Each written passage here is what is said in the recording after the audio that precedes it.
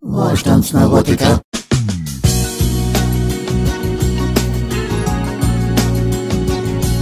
Es geht um Zensur, es ist waschechte Zensur.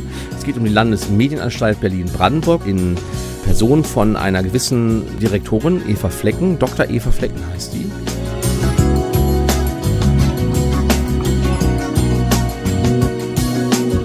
Hier ist der Wohlstandsneurotiker, der Wohlstandsneurotiker. Ich fange nochmal von vorne an. Hier ist der Wohlstandsneurotiker, der Podcast der Neuland-Rebellen und heute sprechen wir über, ja, ich würde mal sagen, den Untergang der Meinungsfreiheit, der Pressefreiheit, irgendwie sowas in dem Dreh. Wie siehst du denn das? Ich begrüße nämlich am anderen Ende des Mikros sozusagen Markus Fiedler von wikihausen.de und was der Henker, was du nicht sonst noch alles machst. Hallo Markus. Guten Abend, Tom. Gute Nacht, ja. Ja, ja genau, genau. Also ja, später. genau. Von, von Geschichten aus Wikihausen, wikihausen.de. Vielen, vielen Dank für die Bewerbung. Genau, Ähm, das, ähm, genau, an der Stelle, entschuldige, ich muss jetzt ganz kurz dazwischen gehen. Ich habe nämlich eine Anweisung von meinem Chef, Roberto Della Fuente. Äh, der hat gesagt, ich soll immer mal auch im Podcast darauf hinweisen, dass man uns spenden kann und dass und die Spendeninformationen auch in der Beschreibung zu finden sind. Das habe ich jetzt getan. Also liebe Leute, wenn ihr spenden wollt, Spendeninformationen sind in der Beschreibung zu finden. Das waren jetzt die beiden Werbeblöcke und jetzt äh, sprechen wir über, ich weiß gar nicht, wollen wir erstmal über Musik sprechen vielleicht? Ja, ja, ich habe ja gerade dir was äh, erzählt. Und zwar gibt es Ja, ich wollte das jetzt, Oliver, ich wollte so tun, als ob, naja, egal. Oliver Anthony. Oder Ja. Olivier, nee, Olivier wäre ja äh, französisch. Oliver Anthony. Und Richmond North of Richmond ist sein Song und das Ding geht in den USA viral. Ich habe gerade auf YouTube geschaut, da hat er über 35 Millionen Aufrufe für seinen Song gehabt. Und ähm, ich lese hier einen Artikel über den ähm, und da steht Überschrift Keine Kekse für die Arbeitslosen. Vom 22. August 2023. Okay. Der bislang unbekannte Sänger Oliver Anthony steht mit Richmond North of Richmond auf Platz 1 der US-Charts. Grund eine sehr laute Botschaft und Zuspruch von Ultrarechten. Von Jakob Bizza, Biazza. Ja, Ja, ja, ja, Ultrarechte. Es ist, ich, ich weiß gar nicht. Also was, was kann man eigentlich machen, ohne den Vorwurf äh, sich gefallen lassen zu müssen, äh, dass man jetzt wieder Zuspruch von Ultrarechten bekommt? Ich weiß nicht. Äh, Wie ist es denn, wenn ich Blumen pflücke oder Pilze sammel oder so? Kriege ich dann auch Ja. irgendwie Zuspruch von Ultrarechten? Ich weiß das es hängt nicht. davon, das hängt davon ab, ob du Blumen pflücken für die Regierenden oder gegen die Regierenden machst. Wenn du es für die Regierenden machst, bist du Widerstandskämpfer. Wenn du es gegen die Regierenden machst, bist du rechts, ultrarechts oder Ja, gefallener Engel, würde ich sagen. Ja, Gefallener gefallener Engel. Engel. Ja, ja, ja. auch noch genau. Ich kann mich da nicht so ganz genau dran erinnern. Ja, es sind diabolische Zeiten, in denen wir leben. Das kann man nicht anders sagen. Ja. Also ich meine, das, das ist jetzt, äh, um auf den Sänger zurückzukommen, das ist ein sehr trauriges Lied, geht in Richtung Pink, Dear Mr. President, ähm, beschreibt die absolut desolate Situation äh, der äh, üblichen arbeitenden Bevölkerung in den USA äh, und äh, also äh, diese Trostlosigkeit, diese Aussichtslosigkeit für, sein, äh, für seine harte Arbeit auch nur ein wenig Lohn zu bekommen und dann mit einem, äh, also er benutzt hier harsche Begriffe in dem Song. Ich kann es jetzt gar nicht wiedergeben, weil ich den noch nicht auswendig kenne. Aber es ist, ähm, das ist eine sehr deutliche Sprache, die er benutzt. Und Ich habe den auch schon gehört. Also der ist wirklich, Genau. geht wirklich rein. Der geht wirklich ja, rein. genau. Es ist ein, ist ein, ein, ein mitreißender äh, Liedermacher-Song. Ja, und auch mit dieser typischen Resonator-Gitarre da vorgetragen. Also das ist, äh, klingt an, also das ganze Ding ist in sich authentisch Hm. und beschreibt halt diese Aussichtslosigkeit der Arbeitslosen. Und ist offensichtlich fühlen sich viele, viele US-Amerikaner davon äh, berührt und klicken diesen Song wie wild, weil das ihr Lebensgefühl widerspiegelt. Ja. Und Ja. äh, genau, und das- genau, das, das, das äh, zeigt eine, einen Zerfall dieser Gesellschaft in, in den USA. Äh, und äh, damit das jetzt äh, bloß nicht noch, noch mehr Leute anhören, sagt man und Zuspruch von Ultrarechten. Spielt nicht mit den Schmuddelkindern. Ne? Ja, ja. Das ja, ist wo, die, also genau. ja, wobei du sagst äh, äh, USA, also ich meine, das ist ja hier auch nicht anders. Also, äh, also das, Die Methoden sind die gleichen. Äh, Genau, die Methoden sind die gleichen und ich finde, also es ist wirklich, für mein Empfinden ist es auch einfach, es ist schäbig, weißt du? Es ist würdelos, weil, also ich meine, da, da kommt ein junger Mann mit einer Gitarre um die Ecke und macht ein Lied, das wahrscheinlich Millionen von Leuten, die einfach betroffen sind von einer vergleichbaren Situation, total unter die Haut geht. Und ähm, nicht mal dieses kleine bisschen Solidarität, Mitgefühl, Gänsehaut, wie auch immer man das bezeichnen möchte, nicht mal dieses kleine Gefühl soll ihnen gelassen werden, weil sie dann gleich in die rechtsextreme Ecke gestellt werden irgendwie. Also deswegen auch gefallene Engel, ne? Also ich meine, äh, wo, wo, wo geht das hin, Markus? Also ich finde wirklich, wir sind an einem Punkt, heute hat mich mein Hausarzt rausgeschmissen, ohne Scheiß. Wieso das denn? Ja, weil er. Weil, weil, du, weil du jetzt äh, was Rechtes gesagt hast. Du hast nee, gesagt. Ja, ich, im, im Prinzip schon. Ja, ja, ja. Ich, hab, ich, also, ich, ich will rechtsdrehende Aminosäuren oder was? nee, nee, ich, hab, ich, hab, ich war bei ihm wegen, wegen eines Rezepts und habe dann irgendwie mit ihm ein bisschen geschnackt und so und irgendwann, äh, irgendwann hat er dann äh, äh so einen Hitler-Putin-Vergleich halt gebracht. Und äh, oh. ich, ich, ich habe dann zu ihm gesagt, also wir, wir duzen uns auch, ich weiß nicht, ob er mich jetzt noch duzt oder duzen würde, wir duzen und ich habe gesagt, ey, Alter, du vergleichst doch jetzt aber nicht Putin mit Hitler, ne? Und dann ging das los, Markus. Zehn Minuten lang. Ich, ich, ich habe da gesessen, ich habe immer nur gedacht, ey, das kannst, was redest du denn da? Also ich habe dann auch gefragt, mal, das, das kann doch nicht sein, das ist doch alles nur Tagesschau, ZDF, Heute Journal und Spiegel, was du mir hier erzählst. Ja, das sind meine Informationsquellen. Ich sag, ja, Alter. Also, der hat mich rausgeschmissen zum Schluss, ne? Weil ich habe natürlich dagegen gehalten und, und habe dann von 14.000 Toten durch die äh, in der Ostukraine durch Kiew berichtet und so wusste er alles gar nicht und äh, dass das auch offizielle UNO-Zahlen sind. Ja, äh, dann äh, die UNO liegt ja auch nicht immer so richtig irgendwie. Also äh, ich, also wirklich, wir sind wir sind dann äh, beide schimpfend aus seinem äh, Behandlungszimmer rausgegangen und haben also wirklich dann da, da die halbe Praxis noch irgendwie äh, zusammengeschimpft und ich bin dann türknallend rausgegangen und habe mir gesagt, ja okay, das war's, ne? Und ich habe mich wirklich gut verstanden das, mit dem Typen. Aber, ja, aber das, das ist doch, ist doch, ist doch schlimm eigentlich. Also ja. das, was hier läuft, ist ja in jeglicher Form eine äh, Spaltung der Gesellschaft. Ähm, ja. Du merkst ja an den Begrifflichkeiten, die verwendet werden, dass derjenige diese Begriffe nicht selbst gedacht hat, sondern dass die halt äh, vorgegeben wurden aus verschiedenen Medien. Ja, natürlich. Verdächtigen, also Faktenchecker und äh, Amadeo, Amaton, äh, Amadeo Antonio Stiftung und äh, wie sie alle heißen. Ja, also das heißt, die das Wording vorgeben, dann kommt noch diese, um es zu nennen, das Compact-Netzwerk hinzu mit Michael Butter und Pia Lamberti und Co. Das heißt, es glaube ich CEMAS oder so, die haben sich dann jetzt neu organisiert in einer anderen Geschichte. Mhm. Also die geben äh, den Diskurs vor und formen die Sprache, damit die und die Sprache ist zufälligerweise äh, den Regierenden zu Passe kommend. Ja, ja aber weißt du, Markus, genau. was mich so, was mich so, ähm, was mich so, ähm, also erstmal war das ja nicht jetzt in irgendeiner Social Media Blase, sondern es war ja analoger, analoger geht's ja gar nicht, ne? Du besuchst irgendwie dein Haus, also den du schon lange kennst. Und ich meine, der Typ ist, ähm, ist, ist, ist ja nicht dumm oder so. Und ich habe dann wirklich hinterher überlegt, ähm, der, der, der dilettantische Umgang mit Informationen, der ist gar nicht so sehr das, was Dummheit ausmacht, sondern die Weigerung, den Dilettantismus zu erkennen oder zumindest zu akzeptieren, ihn als Möglichkeit zu akzeptieren. Verstehst du, was ich meine? Weil er ist also, ja, er ist ja, er ist ja hundertprozentig, der hat mir wirklich vorgeworfen, irgendwie, ich sei derjenige, der sich falsch informiere und, und, und äh, äh, Unsinn und, und Fake News und weiß der Henker was nicht alles. Weißt du, ich kam mir ein bisschen vor wie Schollatur in der NDR Talkshow, wo er da mit irgendwelchen Vollidioten wie, wie Cem Özdemir irgendwie über Syrien sprechen muss oder so, äh, ohne mich jetzt mit Schollatur vergleichen zu wollen. Aber Doch, ich, nein, ja, habe ich gemacht, ne? Ja, stimmt. Okay, äh, äh, möchte ich relativieren. Aber äh, so dieses Gefühl, ich habe schon einige Auftritte von ihm erlebt, wo er dann irgendwie, äh, ähm, logischerweise als er noch lebte, wo er dann irgendwann sagte, also an dem Punkt können wir jetzt echt nicht mehr weitermachen, das wird mir echt zu blöd hier. Ne? Und ähm, so ging mir das mit diesem Hausarzt, weil ich dachte so, ey, ich kann doch, auf der Ebene kann ich doch nicht diskutieren, das ist ja so dermaßen uninformiert und dumm und, und manipuliert, äh, äh da ist ja gar nichts zu machen, ich höre auf an der Stelle, es macht keinen Sinn. Und ja, ja, aber wie du sagst, das ist Teil der Spaltung, ja.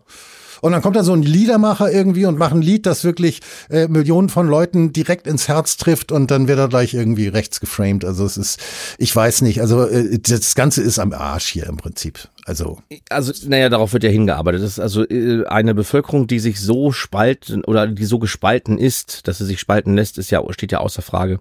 Also eine Bevölkerung, die so gespalten ist, dass sie nicht mehr in äh, gesitteten Diskurs miteinander gehen kann, ist sehr, sehr leicht zu regieren, ja. Und das äh, oder oder äh, früher hätte man das militärisch vielleicht ausgedrückt, wenn du äh, in, in ein Land ein, einfallen willst, bist du ähm, sehr gut beraten, wenn du die eins aussuchst, wo da ganz viele einzelne Stämme sind, die sich auch noch nebenbei gegen gegenseitig bekriegen. Ne? Also dann hast du ja ein ganz einfaches Spiel. Ja, klar. Das, also klar. es ja, geht Störfeuer, ja, ne? was, die, was die USA genau. ja schon seit Jahrzehnten machen im Prinzip. Ja. Genau, also wir haben jetzt ja gerade einen äh, neuen Star am, am Himmel. Wie, wie heißt er? Dieser ähm, äh, Psychologe, der sich auch mit äh, Information Warfare beschäftigt. Ah, Jonas ja Tögel. Jetzt, genau, Jonas Tögel. Ja, den hatte ich auch mal im Interview. Sehr angenehmer hervorragender Mann. Ich ja. glaube, der macht dem Daniele Ganser so langsam Konkurrent. Das, äh, das, die sehen auch so vom, vom Habitus ähnlich aus. ähm, ähm, auf jeden Fall äh, also alleine, dass jetzt die NATO ein neues Kriegsfeld aufmacht, diesen Information Warfare und äh, diese ähm, Inokulation nannte das, glaube ich, also die ähm, die Manipulation der Gedankengänge der Rezipienten durch ganz geschickte psychologische Techniken, die sie jetzt ja schon seit über 100 Jahren erforscht haben. Äh, und ich referiere mal auf dieses SWR-Interview, was er ja gegeben hat. Ich war ganz erstaunt, dass der SWR ähm, so viel ähm, Inhalte zulässt. Okay, das also habe ich gar nicht gehört. Sendung. Interessant. Ja, ja, es gibt es gibt ein langes SWR-Interview, ungefähr 30 Minuten, und äh, da hat er das ja auch angesprochen und der SWR Moderator war erst total, äh, also hat dann gesagt, ja, das ist also eine steile These und äh, dann haben die sich dann in der Pause noch ganz kurz unterhalten, gesagt, nee, nix steile These, lies mal hier nach, ne? Und hat, hat ihnen dann die Seiten im Internet gezeigt. Und man merkte dann, das ist alles nicht bekannt bei den Moderatoren. Also ich glaube, um das kurz runterzubrechen, wir müssen inzwischen lernen, mit, ähm, mit äh, Menschen zu sprechen, die nicht so weit sind. Also das, das Ganze ist ja wie so ein Spiralcurriculum in der Schule. Ja, das heißt, du fängst mit einfachen Sachen an und äh, endest dann bei ganz schwierigen Sachen. Ich kann nicht mit mit einer äh, Vorschülerin oder mit einem Vorschüler ähm, über Molekulargenetik sprechen. Das funktioniert nicht. Das das kriegen die nicht hin. Aber ich kann mit denen halt über Eichhörnchen sprechen. Ja, so ein bisschen, ein bisschen was erklären so. Ja. Und das heißt, äh, dass dazu, ich, ich zähle mich auch zu, ich bin sehr ungeduldig. Man braucht sehr viel Geduld bei, bei so etwas. Das heißt, wir müssen langsam dahin kommen, dass diese Menschen äh, äh, mit dem Spiralcurriculum nachkommen, was sie bisher versäumt haben, ja, und so langsam so in, in die Richtung kommen, damit wir mit denen überhaupt ins Gespräch kommen können. Und das, äh, ja, ja, ja. Also, und, und solange das nicht, und es ist dann halt auch schade, also ich habe ja auch viele Bekannte, äh, viele Freunde verloren äh, während dieser letzten drei Jahre, äh, die ja sehr hart waren für viele. Und ich bin insgesamt darüber gar nicht so traurig, weil das auch vielleicht dazu führt, dass man äh, die Zeit ein bisschen sparsamer einsetzen kann. Also man trifft sich dann mit Leuten, mit denen, mit denen sich das wirklich lohnt. Ne? Und also die Lebensentwicklung hat dann doch schon eine positive Wendung genommen, muss man einfach sagen, in der Zeit. Ja. Das ist ja so ein, so ein natürlicher Selektionsprozess, der dann stattfindet im Bekanntenkreis. Naja, ich würde eher sagen unnatürlicher Selektionsprozess, aber ein Selektionsprozess, ja. Ja, es ist wie ein Katalysator. Also du siehst. Naja, er ist ja also konstruiert im Prinzip. Also er ist ja tatsächlich konstruiert. Also es ist ja, äh, das gehört ja, ja, das ist ja auch Cognitive Warfare also das ist, äh, das ist Nudging in, in militärisch, wenn du so willst, irgendwie. Also äh, ja, aber aber äh, also der der Bekanntenkreis, der dünnt sich dann aus. Ja. Und man kann sich auf die konzentrieren, mit denen es sich wirklich lohnt, äh, längere Gespräche zu führen. Ich meine, das mit dir, das klappt ja wunderbar. Wir beide ticken ja ungefähr auf derselben Wellenlänge. Ne? Und äh, stell dir vor, ich hätte jetzt, ich müsste dir alles erklären von dem, was ich gerade erzählt habe. Äh, naja, da fällt mir, da fällt mir tatsächlich ein, weil das, äh, der, also der Vergleich hinkt jetzt oder ja, doch, der hinkt ein bisschen, weil wir äh, in vielen Bereichen tatsächlich, ja, wie du schon sagst, sehr ähnlich ticken. Ich finde eigentlich viel schöner den Vergleich mit dir und Dirk Pohlmann. Und zwar, wenn es um diese ganze Klimathematik geht. Denn da macht ihr ja etwas, das tatsächlich gesellschaftlich, faktisch eigentlich und das habe ich heute mit dem Arzt ja erlebt, nicht mehr stattfindet. Also als ich ihn gefragt habe, ob er wirklich Putin mit Hitler vergleichen will, war die Diskussion beendet. Und ähm, wenn du dich mit Dirk irgendwie streitest über irgendwelche Klimageschichten, da seid ihr ja durchaus äh, unterschiedlich in vielen äh, Bereichen aufgestellt, dann zeigt mir das, okay, also Diskurs ist ja möglich. Es geht ja grundsätzlich.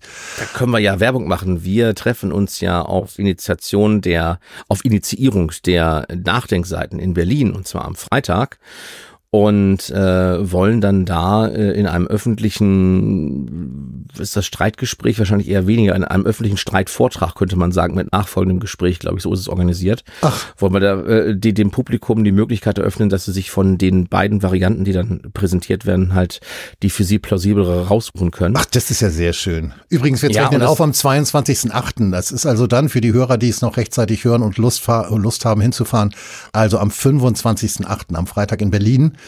Genau, am Abend um ungefähr 18.30 Uhr. Wo ist denn das? 18 Uhr.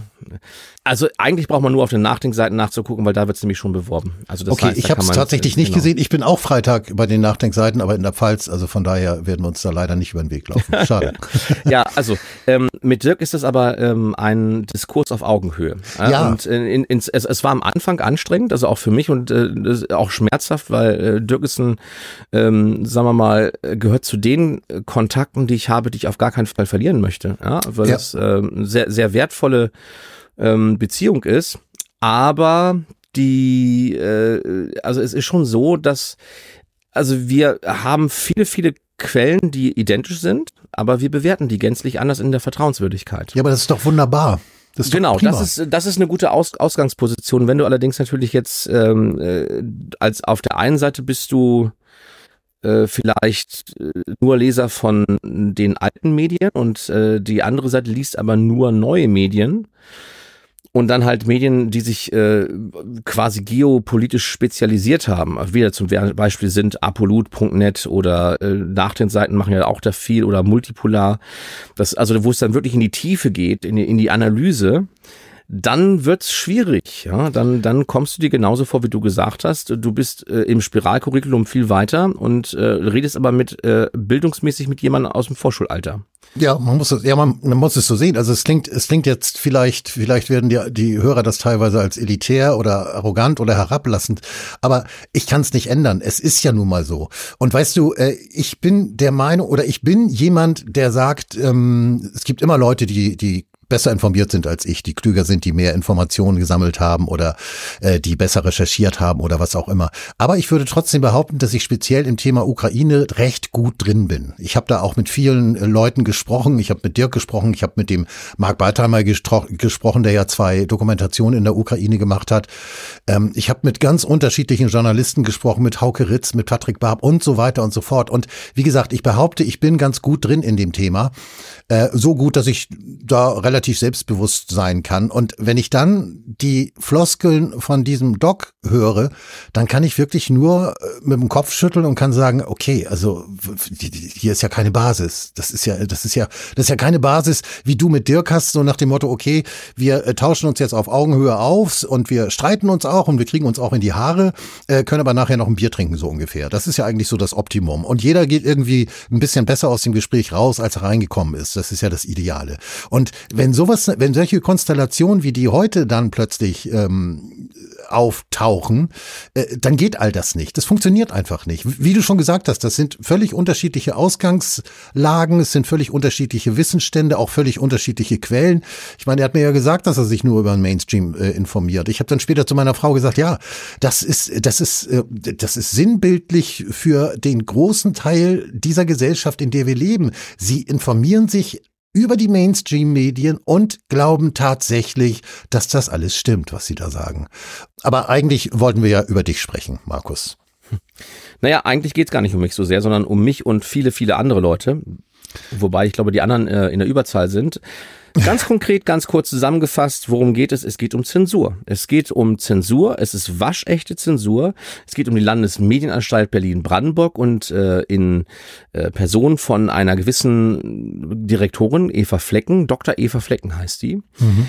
Äh, die ist äh, da äh, Führungspersonal in der Landesmedienanstalt Berlin-Brandenburg und die hat mit Straf Androhung Artikel auf Apollut zensiert. Also klarer Fall, wenn sie das jetzt nicht runternehmen, dann kostet das richtig Geld. Ja, ähm, aber auch schon, dass sie das analysieren musste, kostete Geld. Das kostete, äh, also man könnte sagen, das kostete Strafe, nämlich 4000 Euro, aber das heißt dann im Orwellschen Neusprech Verwaltungsgebühr.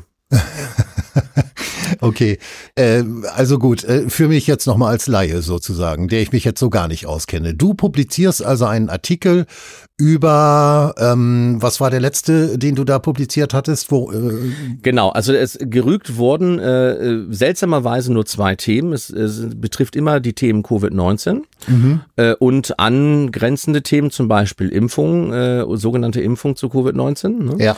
Und äh, dann äh, gibt es das Thema Geopolitik, nämlich Ukraine. Ja, und das heißt also, das sind die, die Artikel, äh, die beanstandet wurden, die sich mit diesen Themen beschäftigt haben.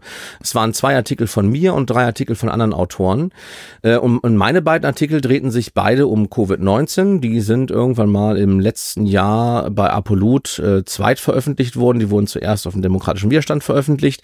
Dann ist das Problem, Demokratischer Widerstand ist eine Printzeitung. Da kann man, ich habe also ein enges Buchstabenkorsett von, glaube ich, 4000 Buchstaben war das ungefähr.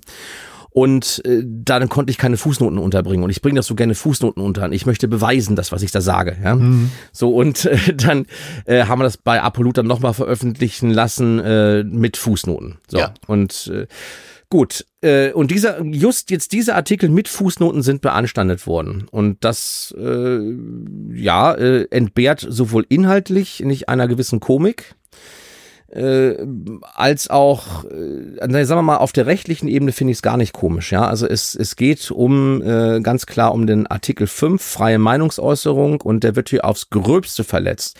Es ist einfach eindeutig verfassungswidrig, was die machen. Ähm, es gibt eine, ein wunderbares Zitat, wenn ich das mal mitbringen darf. Das habe ich ja auch schon geschrieben. Also ich habe einen langen Artikel darüber geschrieben, auf die, ähm, äh, über diese Posse. Der Artikel heißt Die Landesmedienanstalt Berlin-Brandenburg 1984 und Apollut von Markus Fiedler und das Ganze kann man lesen auf Apollut. So, Werden wir verlinken in der Beschreibung auf jeden Fall. Genau. Ja. Kann man aber finden. Also eigentlich muss man nur Landesmedienanstalt irgendwie und Markus Fiedler eingeben. Und ja, Apollut, ich bin aber ich bin, ich bin, ja immer, ich bin so zugewandt unseren Lesern und Hörern. Ich ja, will genau. da bestmöglichen Service bieten. Genau.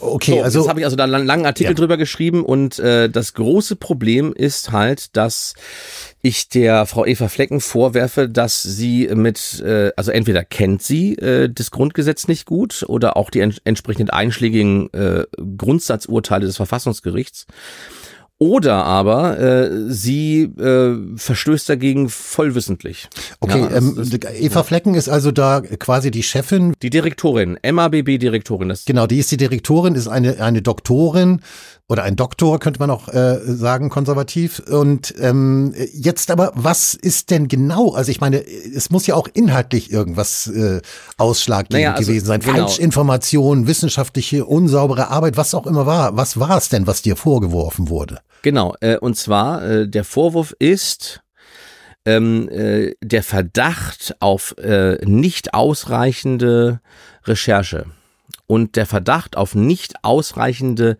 Wahrheitsprüfung. Der Verdacht. Das ist wirklich, naja, genau. Äh, was heißt der? Also ich sage, es ist der Verdacht, äh, weil sie immer schreibt, das ist wohl nicht erfolgt. Ja, da, heißt, darauf wollte ich hinaus. Genau. Darauf genau. wollte ich hinaus, das genau, habe ich ja genau. gelesen. Genau. Also ähm, die, die Recherche oder wie auch immer sei wohl nicht in dem gewissenhaften Ausmaß erfolgt, wie sich Frau Dr. Fleck das vorgestellt hätte, so ungefähr. Genau, also es ich geht meine, um wirklich, es geht um man Wahrheit. Latschen oder nicht.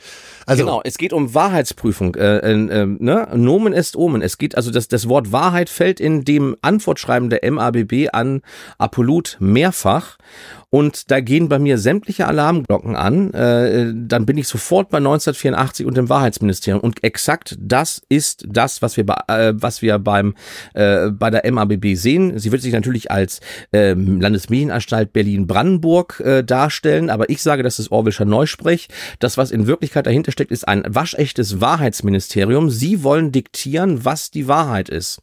Ähm, und das, das Ganze unter dem Vorwand von einer Art Qualitätssicherung.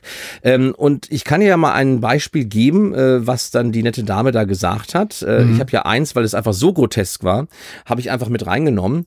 Und äh, Zitat, Frau Dr. Eva Flecken, sie schreibt, auch die Bezeichnung der Corona-Impfung als, Zitat, Genmanipulationsspritze und als, Zitat, Impfung getarnte Genmanipulation, Zitat Ende, entspricht wohl nicht den anerkannten journalistischen Grundsätzen. Die darin enthaltene Tatsachenbehauptung, die Impfung manipuliere Gene, ist nach vorläufiger Würdigung nicht mit der nach den Umständen gebotenen Sorgfalt geprüft worden. Es sind ein paar Rechtschreibfehler drin, deswegen habe ich noch ein SIC dahinter gepackt mit Ausrufezeichen. Und ähm, ich habe die Rechtschreibfehler, deswegen habe ich die genauso übernommen, wie sie da stehen. Ja. Äh, ich wüsste jetzt nicht, dass die anerkannten journalistischen Grundsätze, dass da schon ein, ein feststehender Begriff wäre. Ich würde jetzt journalistisch klein schreiben, aber sie hat es groß geschrieben. Na nun gut. Also es ist äh, Heiliger genau. Bimbam. So, okay. Und ähm, äh, da sehen wir schon, in welche Richtung das geht. Und jetzt bin ich ja nicht irgendein Journalist, der sich dazu äußert, sondern ich bin Biologe und ich bin ein Biologe, der das als Hauptfach gehabt hat. Also ich habe mit Hauptfächern Mikrobiologie und Genetik gehabt. Okay, so ja. das heißt also, äh, das, das ähm, und jetzt und jetzt sagt sie, ich muss das prüfen. Nein, Frau Flecken, ich muss das nicht prüfen. Das habe ich irgendwann mal vor, weiß ich nicht, 20 Jahren oder so gelernt. Ähm, da war ich im Studium und dann seitdem ist mir das klar, was eine Genmanipulation ist und was nicht, weil ich habe das auch gemacht. Naja, abgesehen also ich davon. Weiß, wie man das tut, ja. ja, klar. So, und, also, ähm, ja, okay. und jetzt, und jetzt ist, jetzt, jetzt muss ich jetzt aber keine langen äh, biologischen Abhandlungen hier bringen, sondern es reicht einfach vollkommen aus, dass man sich zum Beispiel das Gentechnikgesetz anguckt. Das ist ja jetzt ein Bereich, der nicht in meinen äh, Bereich fällt, nur mittelbar, äh, vielleicht als Betroffener, wenn ich jetzt in irgendeinem Labor arbeiten würde, äh, sondern es fällt ja in den Bereich von der Eva Flecken, weil es ist, geht ja hier um Rechtsgrundlage, ja. So, und ähm, ja, das ist jetzt. Also, ich empfehle jedem, das Gentechnikgesetz, äh, den Paragraphen 3 durchzulesen, denn darin ist nämlich definiert, was eine Genmanipulation ist und was, äh, und was ähm, Methoden der Genmanipulation sind. Und ich mache es kurz, das kann man jetzt auch in dem Artikel nachlesen, äh, auch in längerer Form sogar den Fußnoten. In den Fußnoten steht, äh, habe ich es ganz klar geschrieben, das, was im Gentechnikgesetz gesagt wird, was eine Genmanipulation, Genmanipulation ist, trifft exakt auf die Methoden zu, äh, die durch diese Impfstoffe vertreten werden. Und es ist eigentlich vollkommen egal, ob ich jetzt einen, einen sogenannten Vektorimpfstoff nehme, äh, wie damals AstraZeneca, also einen DNA-Vektorimpfstoff, mhm. oder ob ich einen mRNA-Impfstoff nehme also einfach nur RNA. Ne? Das, was in dem Paragraphen 3 beschrieben ist vom Gentechnikgesetz, betrifft in verschiedenen Absätzen sowohl das AstraZeneca-Produkt als auch das BioNTech-Pfizer-Produkt mit den mRNA-Impfstoffen oder das Moderna-Produkt ist eigentlich wurscht. So. Ja. Das heißt also, es ist nach Gesetzesvorgabe eine Genmanipulation. Ja. Das Interessante ist jetzt, dass es von diesem Gentechnikgesetz übrigens zwei verschiedene Versionen gibt. Das ist sehr interessant übrigens, das würde dich auch interessieren. Ähm, ich kann dir mal nämlich äh, sagen, ähm, wie das früher hieß. Und zwar, die Ursprungsfassung ist Paragraph 3, Absatz 3, gentechnisch veränderter Organismus. Ein Organismus, dessen genetisches Material mit einer Weise verändert worden ist, wie sie unter natürlichen Bedingungen durch Kreuzen oder natürliche Rekombination nicht vorkommt und so weiter. Ja? Das war die alte Fassung. In der neuen Fassung steht drin, ein Organismus mit Ausnahme des Menschen, dessen genetisches Material in einer Weise verändert worden ist, wie sie unter natürlichen Bedingungen durch Kreuzen oder natürliche Rekombination nicht vorkommt. Aha. Weil ähm, es, das Gentechnikgesetz ist ja ein Sicherheitsgesetz. Es geht darum, äh, du erzeugst gentechnisch veränderte Organismen und wie muss ich damit jetzt umgehen? Also mhm. wie darf ich die in Verkehr bringen oder auch nicht? Ne? Das ist ja die Frage. Und jetzt kommt hier ähm, äh, unter äh, dem Absatz 3a Verfahren der Veränderung gentechnischer Materialien.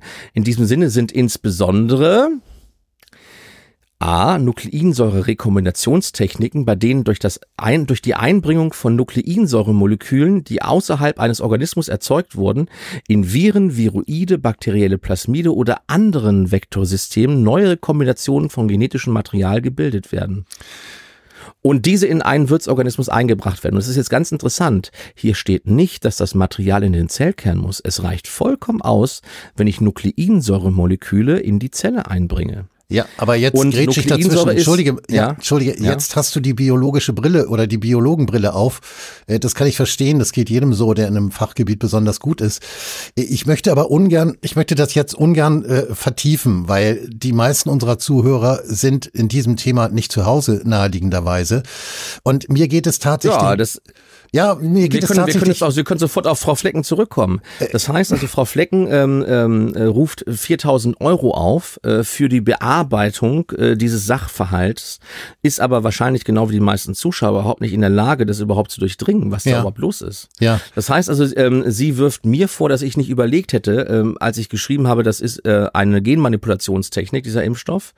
Ne? In, in Wirklichkeit ist es so, dass sie gar nicht nachgeguckt hat, worum es da geht. Das heißt, sie hat keine Ahnung von Tuten und Blasen. Also äh, man könnte sagen, sie zelebriert hier öffentlich ihre Unwissenheit äh, und äh, lässt das auch noch den Adressaten, nämlich Apolut, 4000 Euro kosten. Ja, und das, und das ist der eigentliche also Punkt. Das ist der eigentliche genau. Punkt. Ich meine, wie kommt sie überhaupt darauf? Also ich meine, also für die Hörer einfach mal, wir sprechen hier von Meinungsfreiheit und wir sprechen hier von Pressefreiheit. Und äh, du hast auf Apolut einen Artikel veröffentlicht, Artikel, äh, ja, beziehungsweise genau. zwei, sprechen wir jetzt von einem oder zwei. Und ich weiß, wie du arbeitest und ich weiß, dass die Fußnoten in der Regel fast so lang sind wie die Artikel selbst. Bei kürzeren Artikeln kann es sogar mal vorkommen, dass noch mehr Fußnoten als eigentlich Artikel da ist. Also dementsprechend belegst du alles, was du schreibst und worauf du dich beziehst, ganz konkret, so dass man es anklicken kann oder rausschreiben oder äh, nachschlagen oder wie auch immer.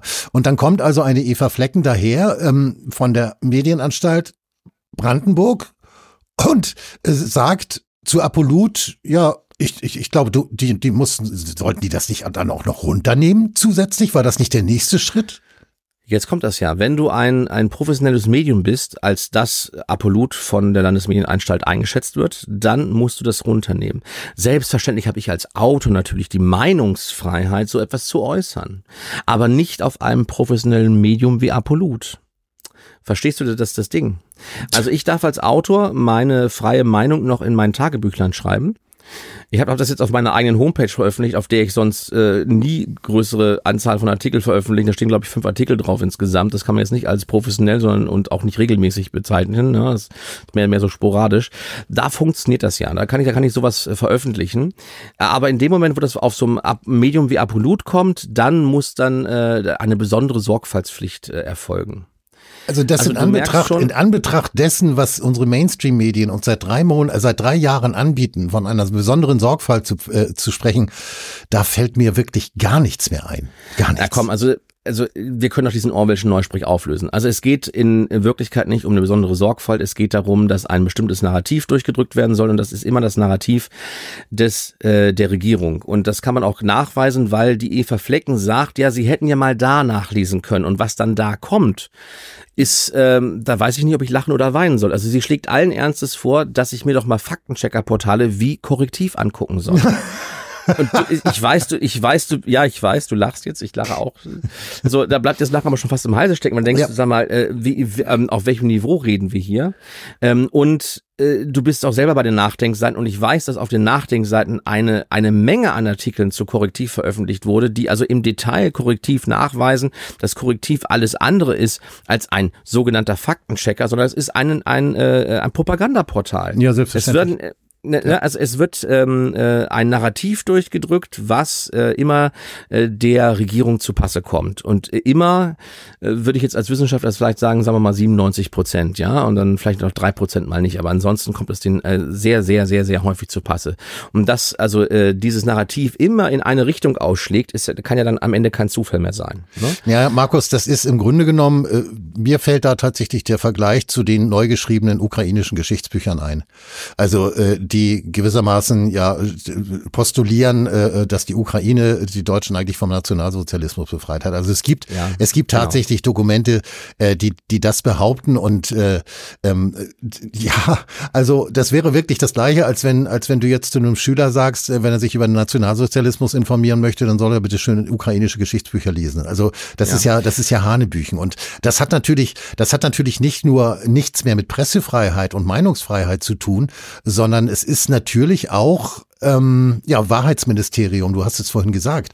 Es ist natürlich äh, mit unterm Strich ist es die Förderung, Verbreitung, also eigentlich schon fast der versuchte Zwang auf Medien zuzugreifen, die nachweislich Falschinformationen verbreiten. Das muss man so ja, sehen. Natürlich, na klar.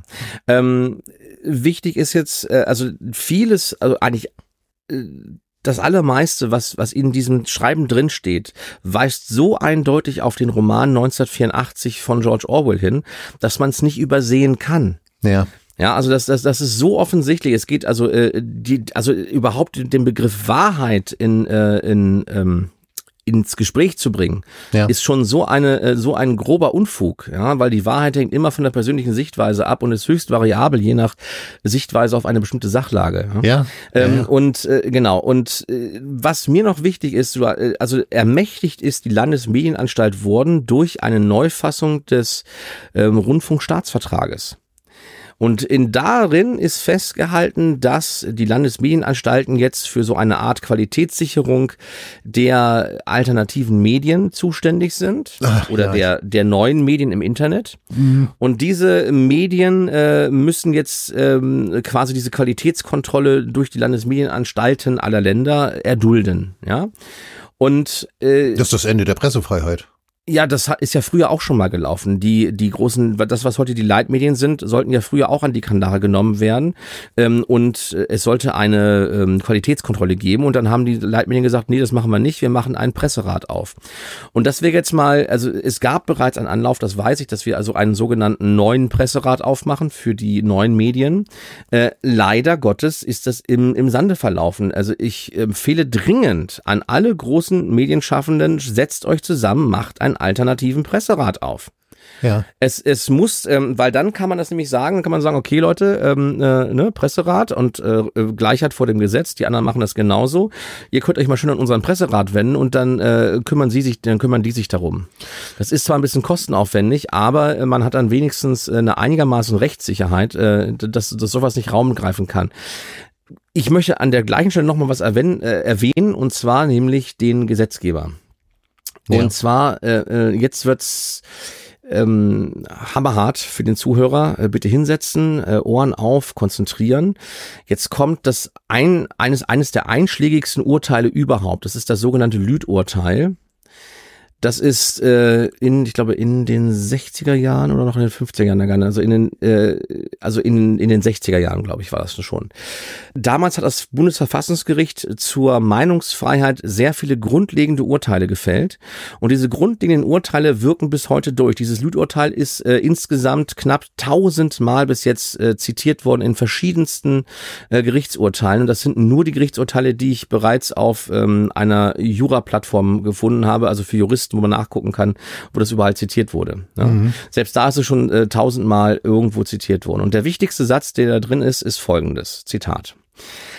Das Grundrecht auf freie Meinungsäußerung ist als unmittelbarster Ausdruck der menschlichen Persönlichkeit in der Gesellschaft eines der vornehmsten Menschenrechte überhaupt. Ich lasse was aus. Für eine freiheitlich-demokratische Staatsordnung ist es schlechthin konstituierend, denn es ermöglicht erst die ständige geistige Auseinandersetzung, den Kampf der Meinung, der ihr Lebenselement ist. Verweis auf Bundesverfassungsgerichtsurteil Nummer 5. Ich lasse was aus. Es ist im gewissen Sinne die Grundlage jeder Freiheit überhaupt ich lasse was aus.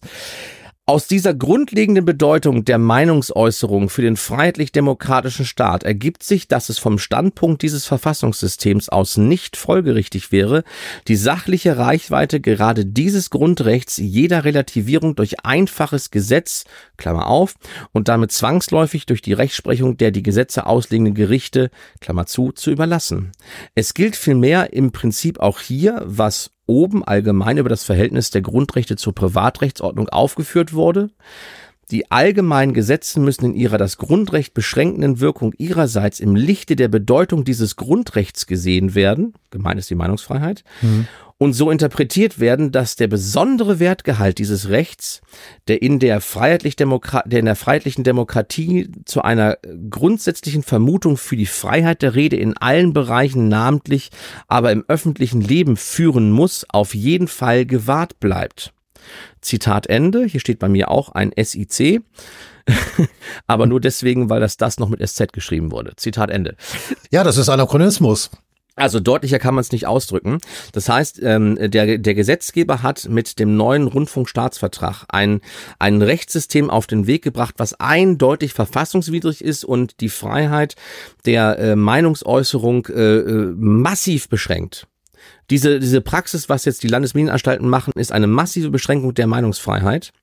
Und es steht sogar drin in dem Lüdurteil, dass genau das nicht stattfinden darf. Also es ist ein einfaches Gesetz. Aus dieser grundlegenden Bedeutung der Meinungsfreiheit für den, nicht, für den freiheitlich-demokratischen Staat ergibt sich, dass es vom Standpunkt dieses Verfassungssystems aus nicht folgerichtig wäre, die sachliche Reichweite gerade dieses Grundrechts jeder Relativierung durch einfaches Gesetz zu überlassen. Ja. Und genau das findet statt. Das ganze Ding ist verfassungswidrig. Das müsste eigentlich sofort gekippt werden.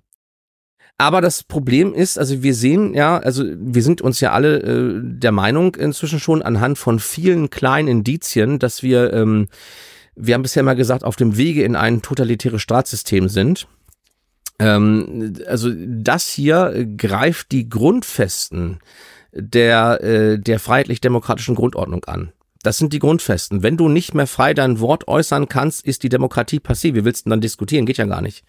Der eine sagt, äh, der eine sagt meinetwegen, ähm, also stell dir vor, ähm, Klimaleugnung wäre jetzt strafbar. Ja? Ja. So, nehmen wir das mal. Äh, und äh, dann sagst du, ich leugne ja gar nicht das Klima. Dann sagt der andere, ist mir vollkommen wurscht, du sagst was anderes, als die Regierung sagt, deswegen bist du Leugner. Das ist ja, das ist ja die, die Form, in der das Ganze läuft. So. Mhm. Das heißt also, äh, du kritisierst jetzt, ne? So. Jetzt sagt der eine, ja, aber es ist doch, der, der CO2-Ausstoß ist doch so hoch gewesen, dass wir zwischen 1850 und heute äh, eine Steigerung von über 50 Prozent an CO2 hatten in der Atmosphäre.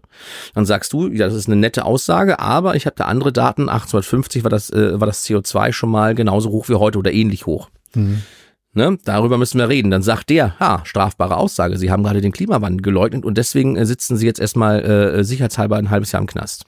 Naja, Markus, ich meine, wir, wir erleben es ja auch mit dem Paragraphen 130 Strafgesetzbuch. Also da wurde ja, äh, ich, ich komme jetzt nicht auf den Namen. Ja, das wird dann, das wird dann darunter laufen. Das, das äh, wird dann, das wird dann darunter noch. noch ja, ja, genau, genau. Und also da ging es ja, da ging es ja, Entschuldige, genau. da ging es ja, da ging es ja um, um, ich glaube die äh, Rechtfertigung, Verharmlosung äh, eines aggressiosen, ag aggressiven äh, Angriffskriegs Russland äh, gegen die Ukraine. Und äh, dieser Friedensaktivist hat gesagt, wir müssen versuchen, auch die Perspektive Russlands zu verstehen. Das war im Kern seine Aussage. Aus.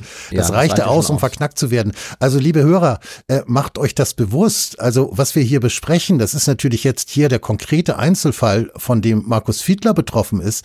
Aber wir sind, ja, du hast es eben schon gesagt, auf dem Weg in den Totalitarismus. Ich würde eher fragen, es ist eher die Frage, wie tief wir schon drinstecken. Also äh, wir, wir sind da nicht mehr auf einem Weg, sondern wir sind schon angekommen und es ist nur noch die Frage, auf äh, welchem Niveau sich das äh, zukünftig bewegen wird. Und wenn äh, dieses Klimabeispiel, das du jetzt gerade genannt hast, das ist ja nicht aus der Luft gegriffen. Also äh, das wird kommen. Das natürlich, wird kommen. das das wird kommen und es läuft darauf hinaus, dass unerwünschte Meinungen in Zukunft juristisch belangt werden und damit damit ist das Ende der Demokratie definitiv erreicht. Genau. Punkt. Und das ist ja nicht, das ist ja nicht das erste Mal. Das heißt also, wir haben jetzt ja ähm, äh, die, die sanfte Form dieser Zensur erstmal erlebt, indem man eine ausgelagerte Zensur betrieben hat, indem man private äh, Medienanbieter, Medienverbreiter, äh, so wie YouTube, ähm, dazu gezwungen hat, unter Androhung drakonischer Strafen bestimmte Inhalte offline zu nehmen. Ja, das betraf dann in diesem Falle immer erstmal ähm, äh, dieses Covid-19-Thema. Ja. Das wird jetzt aber ausgeweitet werden auf das das Klimathema. das heißt, dann nehmen die es offline. Und wenn du dann trotzdem noch publizierst auf deiner, auf deiner eigenen Homepage und die genügend Reichweite erzeugt, wie bei Apolute es der Fall ist, dann wird dann über Strafen äh, das reguliert werden. Also früher, also das ist ja klarer Fall von Ketzer. Ne? Du bist dann der Ketzer, weil du was anderes sagst als die Mächtigen. Ja. Und früher sind die Ketzer auf dem Scheiterhaufen verbrannt worden und ich habe im Artikel geschrieben, heute verbrennt man das hart verdiente Geld auf dem Scheiterhaufen. Ja, ja. indem man halt äh, solche 4000 Euro Verwaltungsgebühr aufruft. Und ich frage mich auch wirklich 4000 Euro Verwaltungsgebühr für was? Ja. Also wenn ich einen Handwerker habe und der verlangt 4000 Euro dafür, dass er eine Heizung einbaut, die nicht existiert, dann, äh, dann wird er von mir überhaupt nichts kriegen. Ja, dann naja. ich sagen, Moment mal, die, ja. Leistung wurde nicht erbracht und das ja. kann ich auch hier sagen. Leistung ist Arbeit pro Zeit und ich sehe hier keine Arbeit, aber viel Zeit. Das ja, heißt in also dem Zusammenhang, genau, also äh, nochmal ganz konkret, also ähm, wenn, wenn diese 4000 irgendeine Berechtigung haben sollten oder hätten haben sollen, dann wäre das nur möglich gewesen, wenn du konkret nachweislich und eindeutig widerlegt worden wärst. Selbst das wäre noch, das, äh, genau, also erst, das ist jetzt, das ist ja Da kann man aber zumindest noch von, von einer erbrachten Leistung sprechen. Im Sinne von, genau. okay, gut, ihr habt jetzt Beweise angeschleppt, dass ich falsch gelegen habe oder so. Äh, das ist trotzdem natürlich, ist es, ich weiß schon, was du sagen willst, das ist natürlich trotzdem konträr zur Meinungsäußerung, weil auch eine falsche Meinung, in Anführungsstrichen, äh, ist als Meinung erstmal gedeckt. Ne? Nein, aber das ist, schau mal, es kann doch sein, äh, also ich, ich, ich gehe doch nicht raus und, und, und äh, feig's mir ein und sage, oh, heute, heute bringe ich euch mal eine, eine Falschmeldung und, und freue mich darüber, dass alle der, der Falschmeldung aufsitzen. Ja. Das machst du ja nicht. Das heißt also, du wirst von dem Stand, den du gerade hattest, von dem Wissensstand aus, ähm, eine möglichst wahrhaftige Mitteilung ähm, an die Leser machen, äh, zum Thema Covid-19 zum Beispiel. Ja. Das kann eine Woche später schon wieder ein bisschen anders aussehen. Ja. Ähm, und so war es ja auch. Also das sind ja wirklich zwei Artikel aus einer langen Artikelserie. Und es ist wirklich so, dass diese Artikel eben nicht so, ähm, sagen wir mal, färber, gefärbt geschrieben sind, wie jetzt dieser ähm, äh, Meinungsbeitrag zum Erhalt des Grundgesetzes, der es ja ist, den ich ja gerade zitiert habe. Ne? Ja. Also Apollut und 1984 und die Landesmedienanstalt, äh, sondern äh, das waren ganz nüchtern geschriebene Artikel. Das, das ganz nüchterner Tonfall. Es geht und das Interessante ist, das, was beanstandet wurde von der Landesmedienanstalt, ist in einem anderen Artikel. Ich habe ja 4000 Buchstaben, nicht mehr. In einem vorangegangenen Artikel habe ich das alles schon bearbeitet. Ich kann nicht alles nochmal wiederholen, dann sind die 4000 Buchstaben weg. Also ich kann es nur kurz erwähnen und sagen, ich habe schon mal geschrieben. Gucken Sie in den alten Artikeln nach. Welche Strafen, sind, welche Strafen sind eigentlich erlassen worden für die Behauptung, die Impfung sei nebenwirkungsfrei? es gibt überhaupt keine Strafen, weil ah. du hast hier ein, du hast hier ein, ein Machtgefälle, ja. Du kannst als, äh, als äh, Gesundheitsminister Lauterbach jeden Müll behaupten und du wirst nicht dafür belangt. Ja.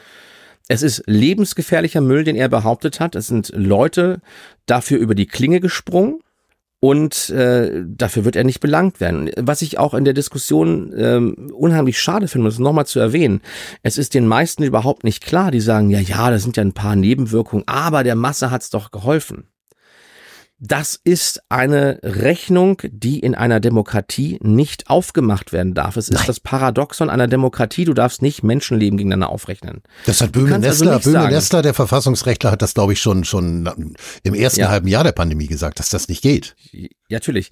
Also, äh, die Aufrechnung wäre dann folgendermaßen, okay, ich weiß, das war jetzt ja immer so die, die, die Sprechgeschichte von Herrn Lauterbach, ich weiß also, es gibt eine schwere Nebenwirkung auf 10.000 Patienten äh, bei, bei Verabreichung der Impfung. Ja. So, das kannst du ja hochrechnen, wenn du, wenn du 85 Millionen Leute impfen willst, wie, wie viel hundert äh, oder wie viel tausend Leute das sind, die, äh, die dann von Nebenwirkungen betroffen sind. Das geht überhaupt nicht. Hm. Äh, und dann, ja, das, damit müssen wir halt leben. Nein, damit müssen wir nicht leben. Die Leute haben aus gutem Grunde, wir, das ist ja aus, äh, aus schlechten Erfahrungen, aus einer vorangegangenen Diktatur hervorgegangen. Die Leute haben ein Recht auf Unversehrtheit ihres, ihres Körpers. Hm. Ja, und es gibt dem gegenüber, was immer gesagt wird, es gibt kein Recht auf Gesundheit. Hm. Das Leben ist mit einem gewissen Risiko verbunden und das, das lässt sich nun mal nicht vollkommen äh, sicher einschränken, dass man sagt, so, ich, äh, ich muss aber sicherstellen, dass mich keine Sau infizieren kann.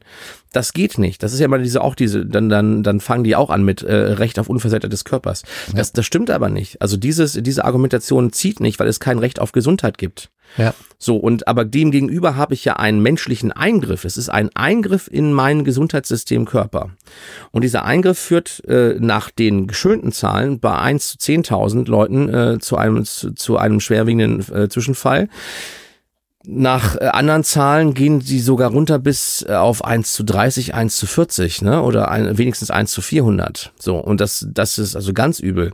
Selbst nach offiziellen Zahlen sind wir bei den Jungen, die sich haben impfen lassen zwischen 16 und, weiß ich nicht, 20 oder was das war, die lagen bei 1 zu 4000 nach den offiziellen Zahlen. Stell dir vor, du bist Jugendlicher und jeder 4000. männliche Jugendliche erleidet einen, einen, ähm, eine Herzschwäche dadurch, also ähm, eine, eine Herzinsuffizienz. Du weißt, dass von diesen Herzinsuffizienzen ungefähr 50 Prozent der Leute innerhalb von fünf bis zehn Jahren sterben. Also das ist, ähm, unglaublich, was, äh, was da gemacht wurde, aber klar, das ist, ähm, äh, da wird es keine, äh, wie soll man das nennen? Also es wird dann keine äh, Bestrafung dafür für geben. Ja.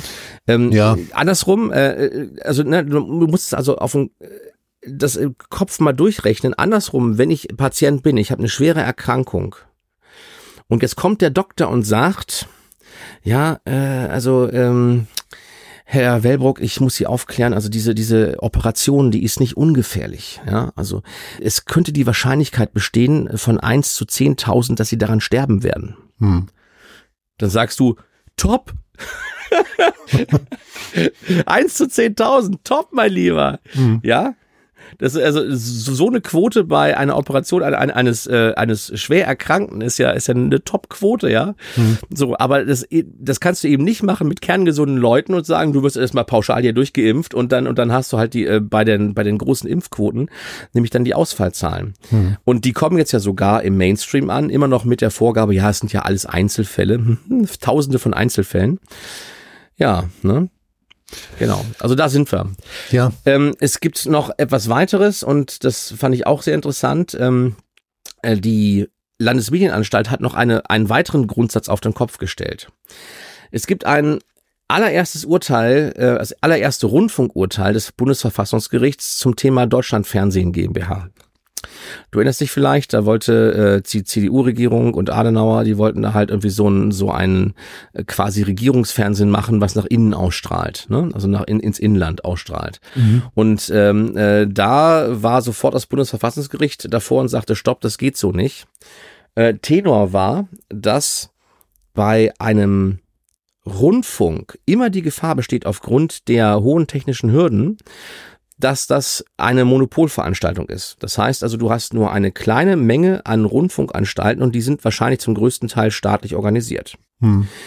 Und wenn da sowas äh, auftritt, dann ist immer die Gefahr gegeben, dass die Meinungsvielfalt in Gefahr ist. Das heißt, das Bundesverfassungsgericht befürchtete, dass das Instrument der Meinungsbildung, nämlich der Rundfunk, von einer einzelnen Gruppe beherrscht würde.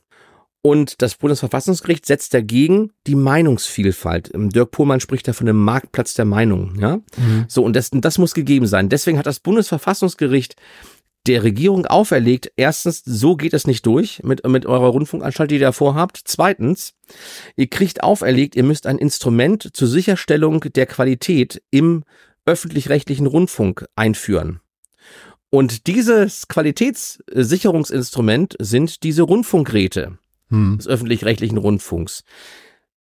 Und was macht die Landesmedienanstalt? Sie reguliert nicht die öffentlich-rechtlichen Medien, sondern sie reguliert die privaten Medien. Aber von den privaten Medien sagte damals äh, schon ähm, das Bundesverfassungsgericht, ich zitiere, der Unterschied zwischen Presse und Rundfunk besteht aber darin, dass innerhalb des deutschen Pressewesens ein, eine relativ große Zahl von selbstständigen und nach ihrer Tendenz, politischen Färbung und weltanschaulichen Grundhaltung miteinander konkurrierenden Presseerzeugnissen existiert, während im Bereich des Rundfunk sowohl aus technischen Gründen als auch mit Rücksicht auf den außergewöhnlichen großen finanziellen Aufwand für die Veranstaltung von Rundfunkdarbietungen die Zahl der Träger solcher Veranstaltungen verhältnismäßig klein bleiben muss. Ja. Das heißt also, das ist eine vollkommene Umkehr dessen, was das Verfassungsgericht noch im letzten Jahrhundert gesagt hat dazu. Also es ist durch die Bank weg komplett verfassungswidrig, was da läuft. Ja, also das und es läuft aber, weil es eine Ignoranz gibt und da sind wir wieder eigentlich wieder bei Schule. Das ist immer dasselbe. Ich bin ja der Meinung, dass äh, das, was wir heute erleben, ist ein äh, ist ein Versäumnis des Schulsystems äh, der letzten Jahrzehnte. Das, was wir sehen, sind Politiker, die nicht zu selbstständigen Denken befähigt werden, äh, befähigt sind, ja. Und äh, diese Ausfallerscheinungen äußern sich dann wahrscheinlich auch äh, in hoher Häufigkeit darin, dass diese Politiker sich von irgendwelchen Typen Gesetze schreiben lassen, was eigentlich ihre eigene Aufgabe wäre. Ja. Und dann hast du halt irgendwelche Lobbyverbände, die Gesetze einbringen.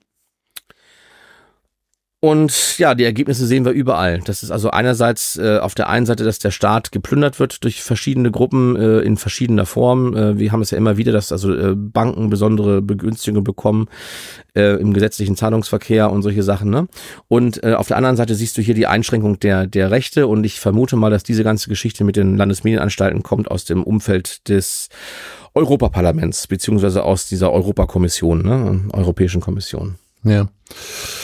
Ja, ich äh, kann dir tatsächlich nur zustimmend nickend lauschen. Es ist ähm, ja, ich bin ich bin da sowieso äh, sehr desillusioniert seit einiger Zeit schon und äh, dein Beispiel zeigt jetzt nur einmal mehr, äh, dass wir uns tatsächlich äh, von äh, ja demokratischen, ja sogar von humanistischen Grundsätzen entfernt haben und äh, die auch quasi bewusst ähm, aus der Gesellschaft entfernt werden sollen und mit Erfolg ja auch werden. Also Diskurs ist ja nichts mehr, was was in irgendeiner Form zulässig wäre und was als äh, befruchtend und ähm, ja kreativ äh, bewertet wird, sondern es gibt halt nur noch äh, Schwarz oder Weiß und ja, wer bestimmt, was schwarz oder weiß ist, äh, das sind eben die, mit denen wir es hier zu tun haben. Und da ist die Politik tatsächlich nicht mehr als ein verlängerter Arm. Also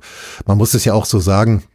Ich meine, speziell, wenn man sich, wenn man sich unsere äh, grünen äh, Kapaiken anguckt, ob das jetzt eine Ricarda Lang, eine, eine Baerbock, ein Habeck oder ein Hofreiter ist und wie sie alle heißen, äh, die haben ja auch intellektuell nichts zu bieten. Das muss man einfach so sehen. Und äh, dementsprechend sind sie wahrscheinlich gar nicht, also schon schon schon intellektuell nicht in der Lage, eine verantwortungsvolle Politik zu gestalten. Also die sind wahrscheinlich tatsächlich darauf angewiesen, dass äh, Unternehmen und Lobbygruppen und Thinktanks und Stiftung und weiß der Henker was nicht alles, äh, dass die denen im Prinzip sagen, wo es lang geht. Und ähm, man sieht es ja jetzt an der Wirtschaftspolitik. Ich meine, da muss man nun wirklich kein Ökonom sein. Und ähm, selbst als Kinderbuchautor könnte man vielleicht drauf kommen, dass das irgendwie alles nicht so ganz optimal ist, was man jetzt gerade macht. Aber auch das naja, wird nicht getan. Stattdessen hat ja dieses, äh, ich glaube, Zeitinterview, ich habe es nicht gelesen, aber dieses Zeitinterview von mit, mit Habeck gegeben, in dem er ja auch äh, ganz selbstverständlich gesagt hat, nee, ist alles gut, ne? Ich habe keine Fehler gemacht oder so, also äh, gar nicht. Und ähm, auch das spricht natürlich von von ähm, ja eben auch von von fehlendem Intellekt, von fehlender Reflexionsbereitschaft und eben auch von fehlendem inhaltlichen Wissen. Also ich meine, wer wer wer sollte denn Wirtschaftsminister sein? Das sollte schon jemand sein, äh, der sich irgendwie sein Leben lang oder mindestens die Hälfte seines Lebens mit Wirtschaft beschäftigt hat und zwar möglichst professionell.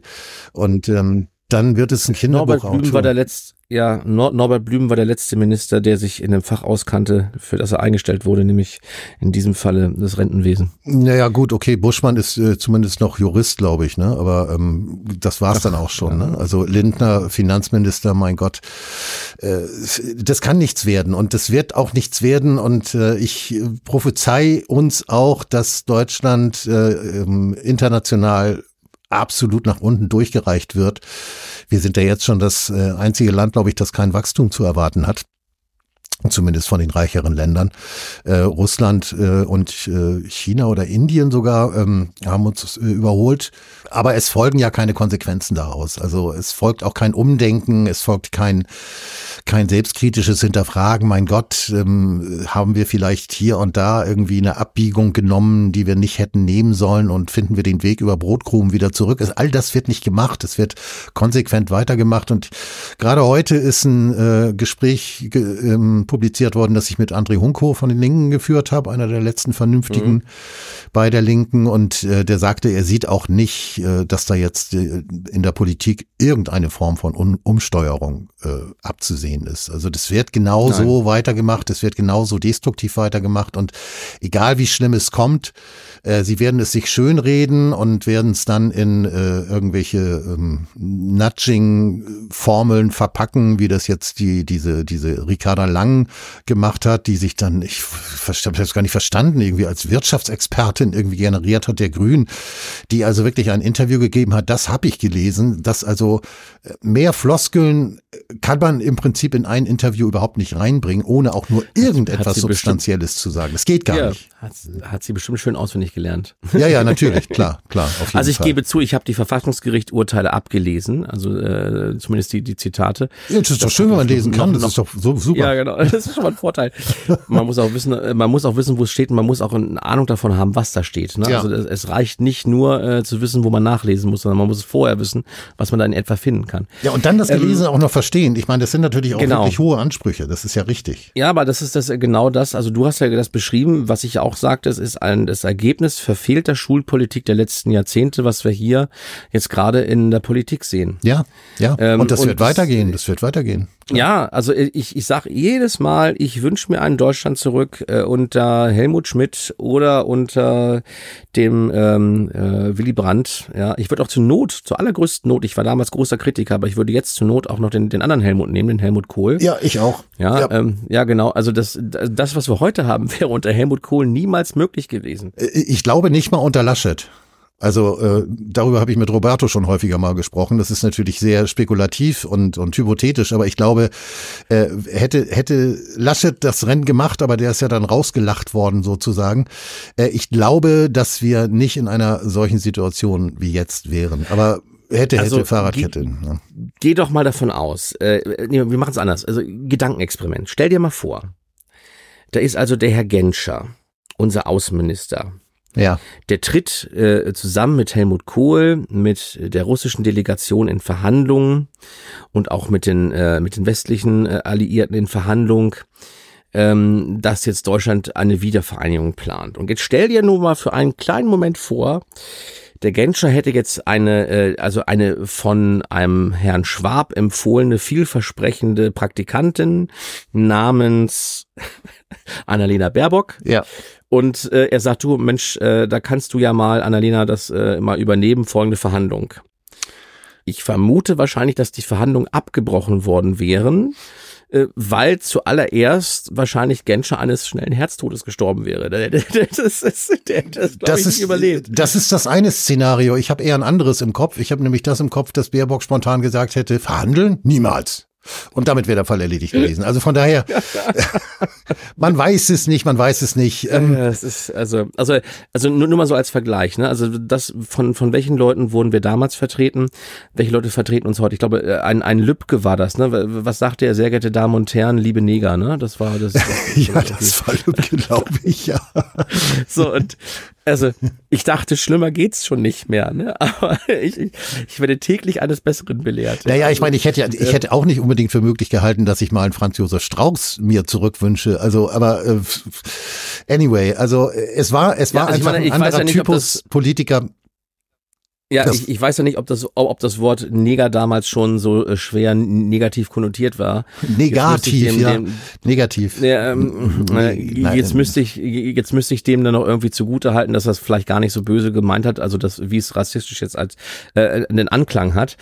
Ähm, äh, aber ähm, äh, verstehst du also, ne? Also selbst äh, das ist noch zu toppen durch das, was wir heute äh, als als Vertreter unseres Landes im Ausland haben. Es ist unheimlich schlimm. Genau. Und ich sage jetzt ja. einen letzten Namen, bevor wir gleich uns verabschieden. Und der letzte Name, der möge bitte in den Köpfen der Zuhörer äh, sich ausbreiten mit Kopfkino und allem drum und dran. Ich nenne den Namen Emilia Fester. Und damit Markus Ziegler. Oh, das ist gemein. Sag mal, sag mal, hast du so eine kleine Sado, also sadistische Ader oder sowas in der Richtung?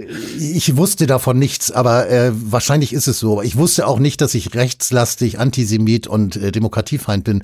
Das musste ich alles lernen. Und ja, ich das, muss meiner das, Frau. Das, das, sind ja alles, das sind ja alles haltlose Anschuldigungen. Aber ich würde jetzt sagen, diese sadistische Ader, da hätte ich jetzt gerade also ein Indiz dafür gehabt. Also das ja, ist ja jetzt eben so gewesen, als ob du mir quasi die Hand auf den Tisch Tisch festgehalten hättest und da so voll den Nagel durchgetrieben hättest ja. in die Tischplatte. Ich habe damals zu ihr ein ja Video gemacht. Ich musste da durch. Jetzt müssen alle anderen da auch durch. Vielleicht ist es auch ein Racheakt, den ich hier fahre. Ich weiß es nicht. Markus, herzlichen Dank für deine Zeit. Herzlichen Dank natürlich auch für, ich meine, wir haben uns jetzt nochmal schön amüsiert zum Schluss. Das ist schön. Aber ich möchte trotzdem nochmal darauf hinweisen, wir, es geht hier um eigentlich alles. Es geht hier wirklich um alles. Und wenn die Meinungs- und Pressefreiheit weiter so eingeschränkt, beziehungsweise man kann eigentlich sagen, zerstört wird, wie wir es jetzt immer wieder an ganz vielen verschiedenen Beispielen deutlich machen können und erleben, dann ist es bald vorbei. Also, liebe Hörer, macht euch das bitte bewusst, auch wenn Markus und ich jetzt gerade ein bisschen scherzhaft rumgealbert haben. Ach, na komm, also ich meine, äh, es geht immer weiter. Also ich habe ja mal, ich habe ja, gerade mal gesichtet, ganz ganz alte Beiträge von mir. Also da, ich habe ja mal solche Flüstervideos gemacht, ne? so, so so so ganz kurze Dinger.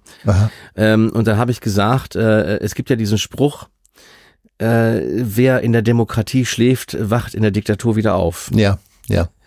Ich habe gesagt, ich glaube das nicht. Ich vermute, dass die, die jetzt schlafen, selbst die Diktatur verschlafen werden. Die schlafen da durch. ja, ich weiß gar nicht, ob ich Ihnen, ob ich Ihnen das gönne, ehrlich gesagt. Ähm, weil das wäre ja sehr bequem. Also dann würde ich jetzt auch die Augen zumachen und warten, bis wir dann im Garten Eden mit Milch und Honig wieder aufwachen. Äh, dann wird überhaupt keiner zur Verantwortung gezogen. Nee, nee, nee, also da gehe ich nicht mit, auf keinen Fall. Nein, nein. ist zwar, ist zwar ein schöner Gedanke, aber, äh, oder sagen wir mal ein interessanter Gedanke, aber nee, das, äh, dann, dann, nehmen die, dann nehmen wir die alle raus aus der Verantwortung. Meine Hoffnung ist ja immer noch, dass die Geschichte es irgendwann mal richten wird. Auch die Corona-Verbrechen. Aber gut, ist ein anderes Thema. Gut, lassen wir das. Markus, ja, ich wünsche dir auf genau. jeden Fall noch einen schönen Abend. Wir sehen und hören uns wieder auf jeden Fall. Irgendwie hatten wir auch noch mal den Transhumanismus als Idee, glaube ich, ne? Ja, es ist doch ganz schnell. Nee, nee, nee, da fängst du jetzt aber nicht mit an. Nein, nein, nein, nein, nein, nein, nein. Das machen wir dann in Ruhe. Ich, ich hatte sogar überlegt, Dirk Pohlmann noch mit einzuladen, aber es ist alles nicht so einfach, uns irgendwie alle unter einen Hut zu bringen. Bis dahin erstmal. Tschüss. Bis dann. Tschüss.